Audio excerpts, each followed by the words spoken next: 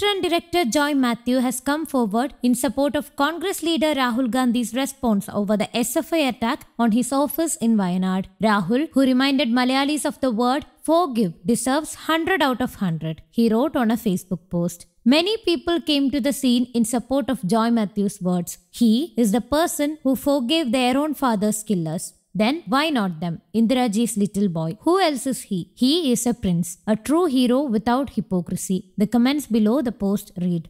Earlier, Rahul Gandhi had said that he was not angry with the assailants. The attack was launched by children. I am not angry with them. They would have launched the attack without realizing the consequences. It is the office of people of Wayanad. It is unfortunate what happened. Violence never resolves problems. People who did this acted in an irresponsible way. I don't have any hostility towards them, Rahul Gandhi said last day after visiting his office in Wayanad.